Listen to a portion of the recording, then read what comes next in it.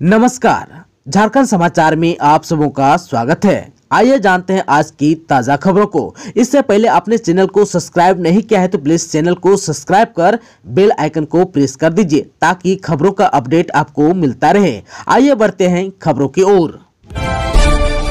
शांतिपूर्ण तरीके से आपसी सद्भाव में मनाए मुहर्रम, गुमला एसपी ने लोगों से की अपील। गुमला जिला अंतर्गत टोटो के मिडिल स्कूल में मोहर्रम पर्व को लेकर शांति समिति की बैठक हुई। अध्यक्षता एसपी डॉक्टर एहतसाम बाकरीब ने की। टोटो के लोगों ने एसपी का स्वागत पुष्प गुच्छ देकर किया। एसपी ने कहा कि मोहर्रम का पर्व जैसे मनाते आ रहे हैं, वैसे ही शांतिपूर्ण तरीके से आपसी सद्भाव के साथ मनाएँ, साथ ही जिला प्रशासन के गाइडलाइंस को निभाएँ। ऐसा गाना ना बजाएँ जिससे दूसरे धर्म के लोगों को आहत हो। त्योहार में सदस्यों को आईडी कार्ड वितरण करने का भी निर्देश दिया गया। कोई भी समस्या हो, प्रशासन को बताएँ उन्होंने युवाओं को नशे से बचने और पढ़ लिख कर गाँव समाज का नाम रोशन करने की अपील भी की। नीति आयोग की बैठक में सीएम हेमंत सोरेन ने सुखाड़ से निपटने को लेकर झारखंड के लिए मांगा स्पेशल पैकेज। झारखंड के सीएम हेमंत सोरेन ने नई दिल्ली में आयोजित नीति आयोग के शासी निकाय की बैठक में कहा कि सिंचाई सुविधा की कमी के कारण हर तीन चार साल पर झारखंड को सुखाड़ का दंश झेलना पड़ता है। इस वर्ष भी अभी तक सामान्य से 50 प्रतिशत कम वर्षा हुई एवं 20 प्रतिशत से भी कम धान रोपनी हो पाई है। वर्तमान परिस्थिति में राज्य सुखाड़ की ओर बढ़ रहा है। केंद्र सरकार झारखंड के लिए विशेष पैकेज स्वीकृत करे ताकि सुखाड़ से निपटा जा सके। राज्य के मत्स्य पालकों को मिलेगा केसीसी लोन राज्य के मत्स्य पालकों को अब मछली कारोबार से जुड़े विभिन्न कार्यों के लिए पूंजी का अभाव नहीं झेलना पड़ेगा। राज्य स्तरीय बैंकर्स समिति और कृषि मंत्रालय द्वारा मत्स्य और पशुपालकों को किसान क्रेडिट कार्ड ऋण योजना का लाभ देने के लिए आवेदन मांगा गया है। इसके लिए केंद्र सरकार के निर्देश के बाद विशेष साप्ताहिक अभियान शुरू किया गया है। इसके तहत प्रत्येक शुक्रवार को बैंक शाखाओं में विशेष शिविर लगाकर केसीसी से वंचित किसानों को इसे उपलब्ध कराने को कहा गया है। किसानों के आवेदन जमा होने के 15 दिनों के अंदर इसकी स्वीकृति और भुगतान की व्यवस्था की गई है।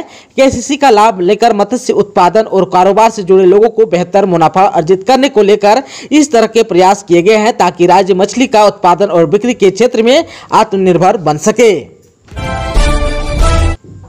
रांची के मरवाड़ी कॉलेज में ऑनलाइन प्लेसमेंट ड्राइव सीएसई पद के लिए नौ छात्रों का हुआ है चयन। प्लेसमेंट सेल के माध्यम से Novitech solution private limited company में कस्टमर सर्विस एग्जीक्यूटिव पद के लिए रांची के मरवाड़ी कॉलेज से नौ छात्रों का प्लेसमेंट ड्राइव माध्यम से चयन किया गया। इसके लिए प्लेसमेंट सेल के असिस्टेंट कोऑर्डिनेटर अनुभव चक्रवर्ती ने सभी छात्रों को नई शुरुआत के लिए बधाई दी। झारखंड की बेटी सलीमा टेटे ने किया गोल। पेनाल्टी शूट आउट में भारतीय महिला हॉकी टीम ने जीता पदक। राष्ट्रमंडल खेल 2022 में भारतीय महिला हॉकी टीम ने रविवार को कांस्य पदक के लिए खेले गए मैच में न्यूजीलैंड को पेनाल्टी शूटआउट में दो एक से पराजित कर जीत हासिल किया। इस जीत में सिमडेगा की बेटी सेलिमा टेटे की अहम भूमिका रही। मैदानी खेल में दोनों ही टीमें एक एक गोल की बराबरी पर थी। भारतीय महिला हॉकी टीम की ओर से उनतीसवें मिनट में सिमडेगा की सलीमा टेटे एक शानदार गोल कर टीम को बढ़त दिलाई। तीन क्वार्टर तक भारत एक ज़ीरो से आगे रहा लेकिन अंतिम क्वार्टर में न्यूजीलैंड ने बराबरी कर मैदानी खेल की समाप्ति पर दोनों टीम एक एक की बराबरी पर ले आया। बाद में इसका निर्णय पेनाल्टी शूट आउट में हुआ। इस शूट आउट में भारतीय भारतीय टीम ने बढ़त बनाते हुए दो एक से मैच जीतकर इतिहास में पहली बार कांस्य पदक पर कब्जा जमाते हुए 16 वर्षों के बाद राष्ट्रमंडल खेल में कोई पदक प्राप्त किया। आप सबको बता दूँ कि इससे पहले 2002 में भारतीय महिला हॉकी टीम ने राष्ट्रमंडल खेल में स्वर्ण पदक और 2006 में रजत पदक प्राप्त किया था। विश्व आदिवासी दिवस धूमधाम से मनेगा। रांची में निकलेगी शोभा यात्रा फुलचंद तिर्की ने कहा, विश्व आदिवासी दिवस यानी कि 9 अगस्त की तैयारी को लेकर केंद्रीय शरणा समिति एवं अखिल भारतीय आदिवासी विकास परिषद की बैठक रांची के कचहरी परिषद स्थित आरआईटी बिल्डिंग के केंद्रीय कार्यालय में रविवार को हुई। इस बैठक की अध्यक्षता केंद्रीय शरणा समिति के केंद्रीय अध्यक्ष फुलचंद तिर्की ने की।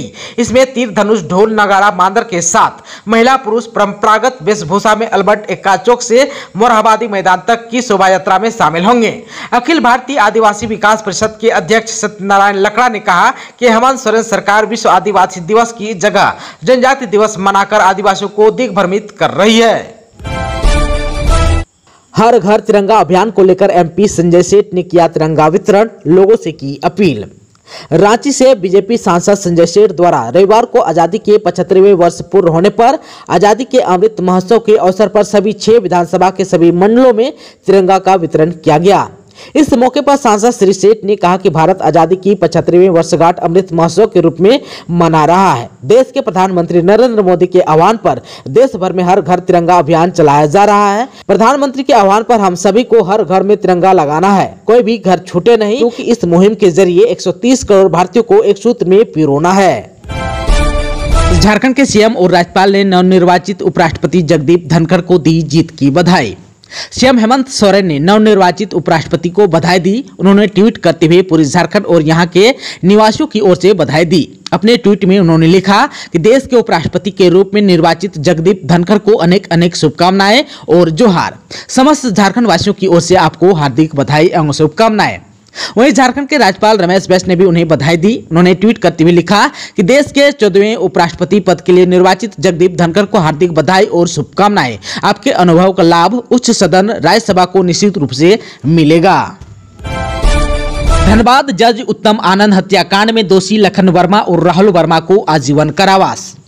धनबाद के अपर जिला एवं सत्र न्यायाधीश अष्टम उत्तम आनंद हत्याकांड में सीबीआई के विशेष न्यायाधीश रजनीकांत पाठक की अदालत ने शनिवार को दोषी राहुल वर्मा एवं लखन वर्मा को आजीवन कारावास की सजा सुनाई। तीस हज़ार रूपए का जुर्माना भी लगाया। को बता दूँ कि 28 जुलाई को उत्तम आनंद की पहली पुण्यतिथि के दिन आरोपियों को दोषी करार दिया गया था। देवघर में चौदह हज़ार नए पेंशनधारियों का भुगतान जल्द ऑनलाइन किए गए आवेदन। राज्य सरकार की महत्वपूर्ण योजनाओं में से एक सर्वजन पेंशन योजना के तहत देवघर के चौदह हज़ार नए पेंशनधारियों का नाम पोर्टल में जुड़ गया है। इसमें विधवा, वृद्धावस्था और दिव्यांग आवेदक हैं।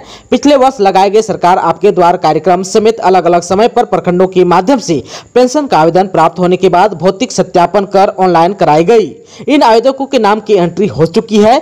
जल्द ही पहली पेंशन की राशि का भुगतान लाभुकों को किया जाएगा। प्रत्येक लाभुक को एक हज़ार रूपए प्रति माह दिए जाएँगे। इसमें प्रखंडों के साथ साथ नगर निगम के भी लाभुक हैं, जिन्होंने राज्य सरकार के कार्यक्रम सरकार आपके द्वार के तहत अपना आवेदन कैंप में दिया था। झारखंड के पावर प्लांटों में कोयला का संकट, बिजली उत्पादन पर पड़ रहा है असर।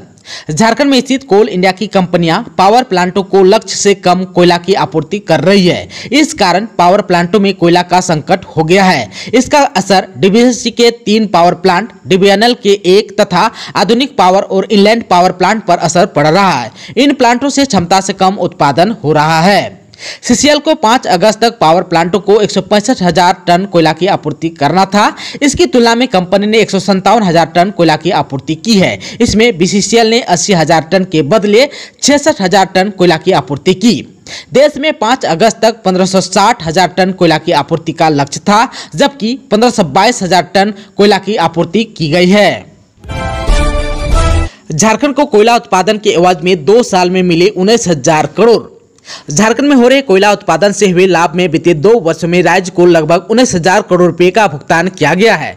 कोयला उत्पादन के मामले में झारखंड देश के अव्वल राज्य में शामिल है, जिसका एक निश्चित प्रतिशत राज्य के विकास के लिए केंद्र सरकार के द्वारा दिया जाता है। इसी के तहत बीते दो वर्षो में लगभग उन्नीस हज़ार करोड़ रुपए का भुगतान झारखंड को किया गया है। उक्त आशय की जानकारी केंद्रीय कोयला मंत्री प्रहलाद जोशी ने लोकसभा में दी। उन्होंने यह जानकारी रांची के सांसद संजय सेठ के झारखंड में कोयला उत्पादन और इससे हुए मुनाफे और राज्य को दिए जा रहे लाभ से संबंधित पूछे गए सवाल के जवाब में दिया।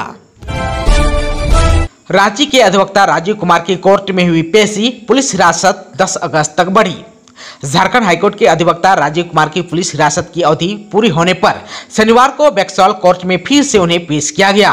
अदालत ने दोनों पक्षों की दलीलें सुनने के बाद फिर से राजीव कुमार को 10 अगस्त तक पुलिस हिरासत में भेज दिया। राजीव कुमार की तरफ़ से पैरवी कर रहे वकील शंकर मुखर्जी और शुभ बोस ने अदालत को बताया कि उनके मवकील वर्ष उन्नीस से ही अदालत में विभिन्न मामलों में पीआईएल कर रहे हैं। जिनके खिलाफ पीआईएल किया गया, उनमें झारखंड के कई प्रभावशाली लोग भी हैं। इस कारण साजिश के तहत झूठे मामले में उनके मवकिल को फंसाया गया। इस पक्ष को देखते हुए उन्हें जमानत दी जानी चाहिए। उधर जो सरकारी वकील दीपंकर कुंडू और संजय प्रसाद सिंह ने कोलकाता पुलिस का पक्ष रखते हुए अदालत से कहा कि राजीव कुमार के रांची स्थित घर पर और दफ्तर में छापेमारी की गई। इस दौरान कई जगहों पर अवैध संपत्ति का पता चला। राजू के नाम पर आठ सिंगल रूम फ्लैट और आठ डबल रूम फ्लैट मौजूद हैं। इसके अलावा चार महँगी कारें भी है। जब पुलिस रांची में इस अधिवक्ता के घर छापेमारी करने पहुँची तो मकान के बाहर लगे सीसीटीवी कैमरे के हार्ड डिस्क को भी पुलिस के पहुँचने से पहले हटा दिया गया। आरोपी की तरफ़ से सबूत मिटाने की कोशिश की जा रही है। आरोपी वकील के घर से मिले दस्तावेज़ के ज़रिए काफ़ी रुपए के लेन देन का सुराग पुलिस को मिला है। आप सबको बता दूँ कि राजीव कुमार ने एक व्यवसायी को ब्लैकमेल कर 50 लाख रुपए लेने के आरोप में कोलकाता पुलिस ने गिरफ़्तार किया था। सरायकला सदर अस्पताल में 30 लाख रुपए से बनेगा कोरोना जाँच लैब। कोरोना संक्रमित मरीजों के स्वाइप सैंपल का आरटीपीसीआर जाँच के लिए अब एमजीएम अस्पताल पर निर्भर रहना नहीं पड़ेगा। अब सरायकला सदर अस्पताल में ही जाँच संभव होगी। इसके लिए सदर अस्पताल में आरटीपीसीआर लैब का निर्माण कराया जा रहा है। संभवतः अगस्त के अंतिम सप्ताह तक शुरू हो जाएगा। सदर अस्पताल में आरटीपीसीआर लैब बनाने पर लगभग तीस लाख रूपए खर्च करने की योजना है। इसकी निविदा प्रक्रिया पूरी हो गई है। जल्द ही इस पर कार्य शुरू होगा। इस संबंध में civil surgeon doctor Vijay Kumar ने बताया कि आरटीपीसीआर लैब के बन जाने से कोरोना की जाँच सदर अस्पताल में हो सकेगी। दोस्तों, अभी तक आपने चैनल को सब्सक्राइब नहीं किया है तो प्लीज़ चैनल को सब्सक्राइब कर बेल आइकन को प्रेस कर दीजिए ताकि खबरों का अपडेट आपको मिलता रहे। इसके साथ ही आज की खबरों में बस इतना ही। हमें दीजिए इजाज़त। नमस्कार।